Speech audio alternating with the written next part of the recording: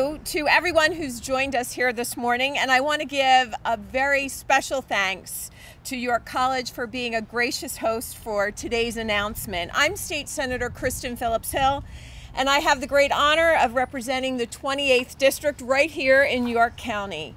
And we stand in the shadows of the former York Narrow Fabrics Company. This site once manufactured the actual red tape that bound federal regulations in Washington, D.C.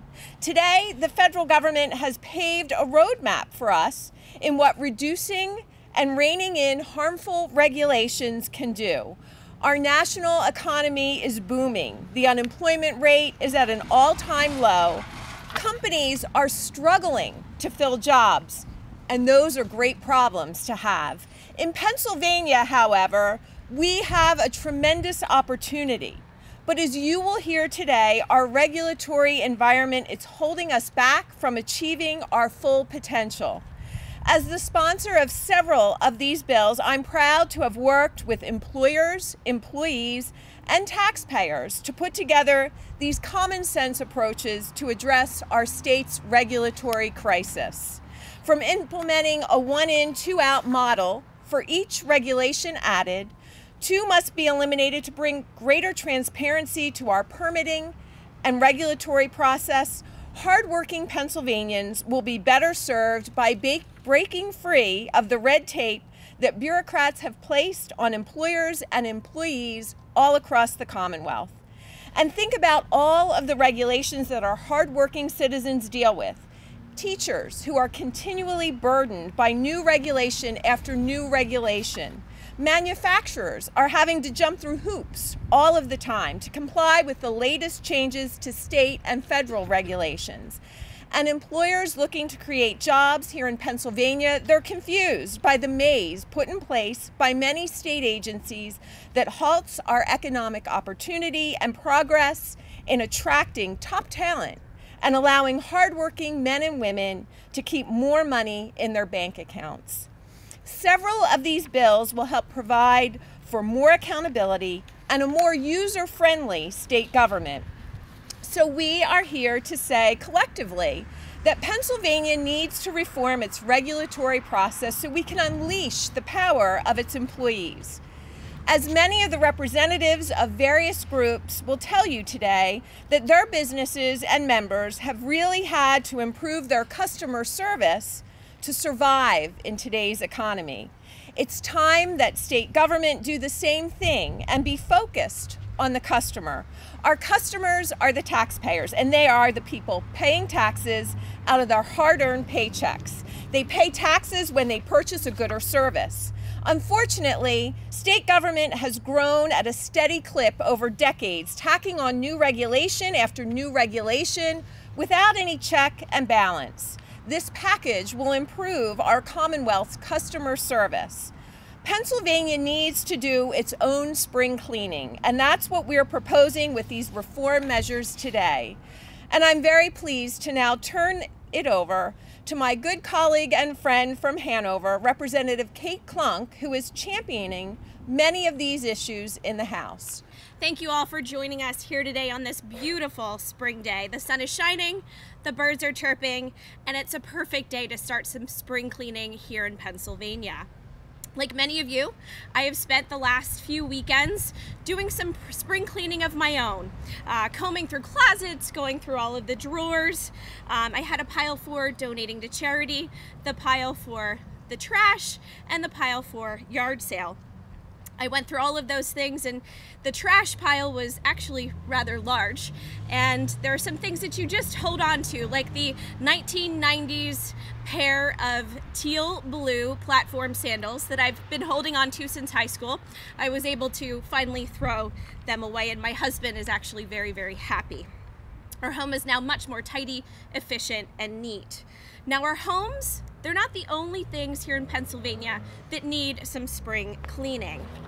The Commonwealth, we have thousands and thousands of regulations here on the books. And many of these acts and regulations were created several decades ago, and they have yet to be re examined and evaluated to gauge their level of relevance, appropriateness, and cost effectiveness. Our Commonwealth here in Pennsylvania does not undertake a regular and systemic independent review of existing regulations, nor does it possess an organized system to provide recommendations um, and receive recommendations from the public, educators, business, government, and other entities here throughout the Commonwealth. With well over 153,000 regulations on the books, our state's regulatory system has become the equivalent of extreme hoarding. We need to call A&E and get hoarders in. Here in Pennsylvania, we don't get rid of anything. Essentially, we have a whole lot of clutter and we need a Marie Kondo type person to come in and start cleaning things up. And that is exactly what State Senator Kristen Phillips Hill and I are doing with the creation of the Independent Office of Repealer within the Independent Regulatory Review Commission in our two bills. I truly want to thank Senator Kristen Phillips Hill for drafting this legislation. She introduced this last session in the House. And since being elected to the Senate, she is championing this issue over there. She has Senate Bill 251 in, in the Senate, and I have been entrusted, thank you, Kristen, um, with House Bill 1055 this session. Now, instead of using Marie Kondo's approach of determining an item's worth based on the joy it provides to you and that emotional connection with you that you have with the item, the Office of the Repealer would take a hard analytical look at the value of any act or regulation and nothing in this legislation states that any specific regulation must be repealed. The Office of the Repealer would adopt a quantitative and qualitative rubric to assess whether any existing statute or regulation is reasonable, unduly burdensome, detrimental to the economic well being of our state, duplicative, onerous, defective, or in conflict with another statute or regulation. Then the Office of the Repealer would work to provide a full systemic view of existing statutes and regulations to identify those that need modification, revision, or repeal. The people of Pennsylvania would also have input in this process. There would be an online system where individual taxpayers, business owners, um, nonprofit entities could go on and say, hey, Office of the Repealer, I need you to take a look at this regulation. We don't think that is working for the people of Pennsylvania. The office would provide an annual report to the General Assembly and to the Governor. Now, these reports would provide recommendations to us on the statutes and regulations that would need some special attention, some spring cleaning, if you will. And this would hope to aim to increase efficiency and eliminate wasteful practices in our government. In addition to reviewing existing regulations, a provision in the legislation that the senator had talked about states that for every new regulation added to our government, that agency would be required to repeal two. Now, this would greatly decrease the government interference in the lives of our citizens and businesses here in Pennsylvania. This spring cleaning approach, it's not novel, it's not new. This government governmental regulation spring cleaning approach has been used by states like Kansas, Rhode Island, Tennessee, North Carolina, and our own federal government. These restrictions on the books here in Pennsylvania, they create impediments for individuals, local and county governments, school districts, businesses of all shapes and all sizes. It limits the economic development and the growth of job creation here in our local communities. These thousands upon thousands of regulations, they have been created under both Republican and Democrat governors. They've been piling up for decades, decades and decades before many of us were even born or even thought of. They have truly left Pennsylvanians drowning in red tape, like the red tape that was manufactured in the building behind us. We truly have a responsibility to make sure that government is working for the people of Pennsylvania, not against them. The Office of the Repealer would work for the people of Pennsylvania to ensure that our rules and regulations here in this Commonwealth are not duplicative, are not inefficient, and are not unduly burdensome for the people who we represent. I want to talk about two bills that I've introduced. Uh, one is um, just House Bill 509. It deals with permit um, the permit paralysis that even Governor Tom Wolf recognized back in December when he said he would support a common sense uh, permit reform process. We have uh, literally hundreds of property owners, businesses, public entities like schools waiting for permits and licenses, licenses, licenses, and other actions from state government, which they are waiting for without any idea where they are in the process. And so, just like when you order a package at Christmas from Amazon and you can track where it is in the process, we believe that you ought to be able to track where you are in the permit process. So, my bill creates an online repository with every department in the state where when you apply for your permit, uh, it'll be logged in and you can see where it is in the review process. And by the way, this also allows for transparency that if you want to know what your neighbor's doing, you can check what your neighbor's doing and what permit they've applied to too. So um, this will allow the person who's applied for the permit to find out where the process is. And if it's been denied, the statutory rationale for denying or delaying the permit. Um, we know, uh, I spent my life in the private sector, my professional life in the private sector, that regulations are as bad as taxation when it comes to hindering businesses. We don't mind paying taxes if they're going for good things and we know what we're paying, but when it comes to regulations, it, it causes a, a paralysis um, and it causes uh, what, what I believe is not constructive time or productive time when you're trying to make sure that you're in compliance with the regulations. And as Representative Klunk said, over 150,000 uh, regulations in Pennsylvania, many of which are outdated and most of which are burdensome to the businesses. But regulations are good, and there, there are plenty of good regulations. And if they are good, uh, we should respect the equal branches of government, and those regulations should go in front of the General Assembly and the Senate to be voted into law. And so my second bill, um, 509, is the bill with uh, permit transparency. There's a, uh, a, a, great senator from York County has the Senate version, uh, which I, th I, think is uh, Senate Bill 252. But 507 is a um, bill dealing with if, if the executive branch wants to impose new regulations and they're economically significant, then they should come to the General Assembly and have at least our committees vote on them. Uh, if, if, it's, if it's a good regulation and if it makes sense, if it protects our citizens, uh, then, then we should put it up to a vote and it would pass on its merit instead of allowing uh, some faceless, nameless bureaucrat to institute bureaucrats that, that uh, in, in, institute regulations that hinder our businesses. So uh, we're going to vote on the permit transparency this week in the House. Uh, it also allows um, for if the, the state cannot deliver the permits in time, that they would be able to bring a third party inspector to do the, the, the issuance of the permits. Uh, you know, we use third parties when we go to have our car inspected. We use third parties when we have our children get physicals for school or their, their uh, vaccinations for school. We don't go to a state doctor for the physical. We don't go to a state garage to get our cars inspected.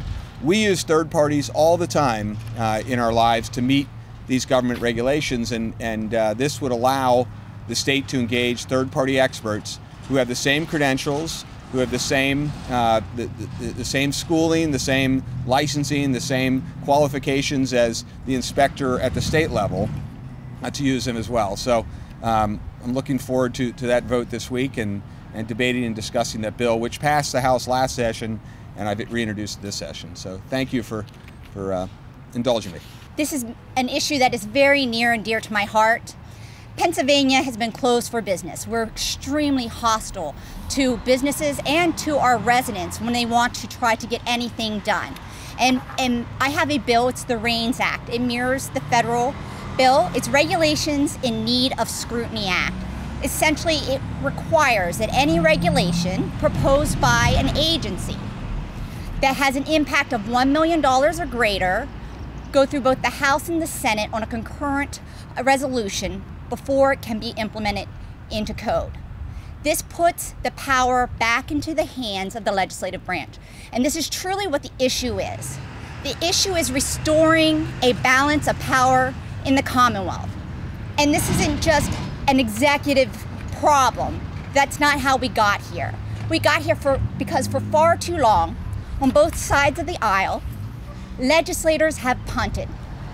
We write these very broad laws with so many undefined terms, and then we give it to the executive and say, promulgate the law, make the rules up. It's very convenient for legislators because they're able to pass the responsibility to somebody else instead of finishing the job. We need to take responsibility to write very specific laws with very every term defined before we send it to the executive so that they are truly just promulgating the intent of the legislative body. It goes back to schoolhouse rocks. The legislature legislative branch writes the laws, the executive enforces the laws. It's that simple, it truly is. Because every time that our branch passes the buck, we strip the voters of their voice. Because the voters don't get to choose who that unelected, unaccountable bureaucrat is. They have no recourse for action. Each time that we do that, we need to restore this balance of power. This is a good first step. I think this is a great package of legislation that we have to try to rein in this gauntlet of regulation to help all of our businesses, our communities um, get through this regulatory gauntlet. As we're dealing with permits, as my colleague Ro Representative Rothman said, um, it is every facet of of our communities, from the from our churches to our municipalities to our businesses. We're all impacted by this. And it shouldn't be this difficult to get through a permitting process, especially when we've already paid an engineer to uh, draft or submit an application. Why do I have to wait for another engineer? PennDOT, if you speak to anybody there right now, our projects are taking two to three years on top of the general construction because we're waiting for permits. One agency dealing with another agency, often just to replace a pipe with the exact same pipe, but we still got to wait for a permit. There needs to be some common sense approaches taken. I think this package of legislation that we have proposed and the bicameral effort should help us get this to the finish line this year. So I thank you all for joining us today and um, taking the time to listen. I'm here, uh, as Kristen sort of alluded to, a little less in my role as a new state representative and more uh, to talk about my former uh, business experience. I had the great honor of uh, working for 23 years and uh, at St. Onge Company, which is one of the, the best kept secrets here in York. I had the, the, the uh, privilege of leading that company for 11 years. And um, in addition to that experience, um, what's quite relevant is, believe it or not, St. Onge is one of the leading firms in the world at helping many of the the, uh, the largest and best companies across the country and around the globe determine where they're going to locate uh, manufacturing facilities, distribution facilities. And so I know firsthand what these companies are looking for when they when they pick a location. And so I'm going to start with a little bit of good news, and that is that York does a lot of things right. Um, we, as, as you'll hear later on, our, our folks, uh, Kevin Schreiber and his folks at the York County Economic Alliance are doing a lot of good work. We have a rich manufacturing tradition here. Uh, York has about 20% manufacturing jobs, which is more than twice uh, the state average. We have a lot of great entrepreneurs, a lot of great legacy and tradition here. Unfortunately, a lot of the issues that we are struggling with are state level issues. Um, and as my colleagues have alluded to, while the nation has done extremely well under new leadership the past two years, which included a lot of regulatory reform, uh, we rank, uh, according to USA Today, just put out a report last month on economic uh, quality uh, of states, we rank 39th when it comes to business friendliness. Well, why is that? Okay, there's about four or five things that companies are really looking for. First and foremost is workforce. I'm proud to say that the Republican leadership in the House made that our top priority this session. We passed a number uh, of good bills just a few weeks ago, and that's a good thing. But let's keep going. Corporate net income tax, 9.99%, okay, third highest in the nation. We are an extremely litigious state. It is impossible to fathom the amount of damage that the Philadelphia trial lawyers have done to our Commonwealth and continue to do day in and day out. Lastly, the topic we're here to talk about today permitting and regulatory issues. We are one of the most unfriendly, time consuming states with whom to do business. A permit that might take three to six months in Virginia or Maryland can typically take a year to two years here in Pennsylvania. So as we look around and wonder why our population is aging, why our population is shrinking, because our children and grandchildren are leaving to seek employment elsewhere. Maybe it's because we take the first 10% of companies' profits. Maybe it's because we sue them routinely. And maybe it's because we make it as onerous and complicated as possible to permit, uh, to get through the regulatory process and to either locate here or to stay and invest here. So I just want to say how proud I am of my colleagues. I mentioned earlier that York does a lot right. And I'm not saying this because they're my colleagues. I'm saying this as a former business person. We are blessed with a lot of great legislators here uh, in York County, as well as our friends in Cumberland. Uh, Greg Rothman has some incredible uh, business uh, experience of his own. And so I just want to commend Kristen, Kate, Dawn, and Greg, uh, and uh, thank them for their efforts. I'm going to co-sponsor and support them any way I can and just say that I'm very proud to serve with them. Thank you.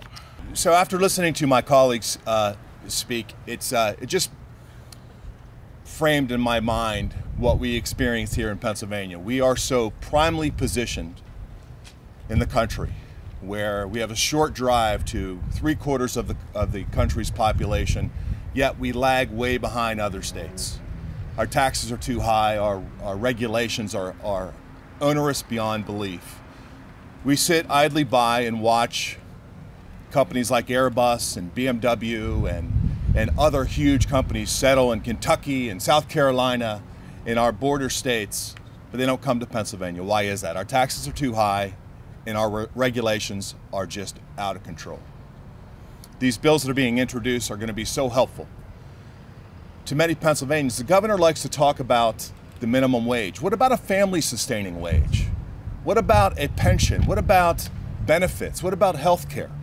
What about all these things are brought in when we lift this burden off of Pennsylvania and attract people, attract companies who can employ people with real jobs, real jobs that make differences in people's lives. We need to make this state a business friendly state, which it clearly is not. This very thoughtful legislation, which has been drafted by my colleagues who do such a wonderful job in the House of Representatives, will make an impact, will bring business, growth, jobs, industry into the state that lags behind in every category. This is smart, common sense legislation.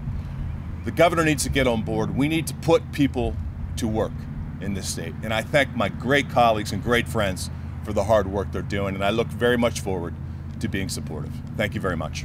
As a researcher of regulation, I must say it's quite fun to be here at the birthplace where red tape first got its name. Pennsylvania actually has a fairly modern and sophisticated regulatory system in many respects, especially when it comes to review of new regulations. But Pennsylvania needs a more effective process for reviewing all the old regulations that gradually accumulate on the state's books. In 2017, I produced an analysis of the Pennsylvania Administrative Code, finding it contains about 13 million words in it, roughly 153,000 of which are restrictive terms like shall, must, or required. It would take an ordinary person about 13 weeks to read the entire Pennsylvania Administrative Code. Pennsylvania has a higher restriction count in its code than many of its neighbors, including West Virginia and even Maryland, although not quite as high as some other U.S. states like Ohio or New York. But tellingly, the average province in Canada has just 26,800 of these restrictions in its regulations. And the national government in Canada has 71,800 restrictions as of 2018. Now, there are some differences between the US and Canada due to its parliamentary system. So, Canada sometimes uses means other than regulation, like legislation or policy documents to implement its requirements. But nonetheless, it's highly revealing that these numbers are so much lower than Pennsylvania's. Now, most jurisdictions struggle to implement a meaningful process for periodic review of regulations, and Pennsylvania is no exception. But the legislation that's being introduced today can help address this challenge. Pennsylvania should learn from other states that are also making look back at old regulations a top priority. So, my home state of Virginia, for example, is implementing bipartisan regulatory reduction uh, reform right now that marries occupational licensing and criminal justice reforms with broader regulatory process reforms. Uh, agencies in Virginia are developing a catalog of all their rules and requirements that they'll have to report publicly, and several agencies are going to have to cut their requirements by 25% over the next several years. So it's not surprising that CNBC recently named Virginia one of the top states for business, citing its regulatory reduction program as a reason for Virginia's strong place in the rankings. Pennsylvania has the potential to be the next leader in the fight against red tape. So today I'm very excited to see legislators making meaningful regulatory reform a top priority as much of what was said really, and I think the message today uh, to take away is the private sector really is the muscle behind our economy. It's the economic engine that, that really fuels a lot of the growth throughout our Commonwealth and our country. And it really is incumbent on government to help set the conditions by which our private sector can thrive, our businesses, our individuals can get up, get their business up and running, uh, grow their business, and be successful, whether you're a large corporation or you're an independent entrepreneur. Uh, we stand in the shadow of industry here. We stand uh, in front of an edifice of education, both of which really fueling our economy in York County and throughout Pennsylvania. And as was stated, Pennsylvania really does have a very diverse uh, economy, a very strong economy, and York County is certainly a microcosm of just that. As Representative Jones had mentioned some of, some of this, uh, York County is the eighth largest county in Pennsylvania. Uh, we do have a very diverse industry makeup. Our gross domestic product just from York County alone is $16 billion. And manufacturing alone, as noted, comprises about 20% of that economic output, as well as just shy of 20% of the labor force. And right now in York County, unemployment is at a historic low of 3.4%. So, really, to sustain and evolve a modern economy, we do need a modernized and streamlined and economically empowering government. And the, the phrase in order to form a more perfect union is it set in the preamble of our very own constitution and we really should all be in the business of perpetual improvement and retooling government and looking at what works and what doesn't work and trying to address that is good continual practice in a recent survey of York County businesses 81% of respondents voted in favor of officials placing focus on streamlining processes and promoting efficiency in regulations and taxes and the state budgeting process. Today is an example of just that, and really do want to commend all of the members of York County, Cumberland County delegation uh, behind us today for this bicameral effort, and really thank you to Senator Phillips Hill uh, for hosting this today and bringing all of us together for this common cause.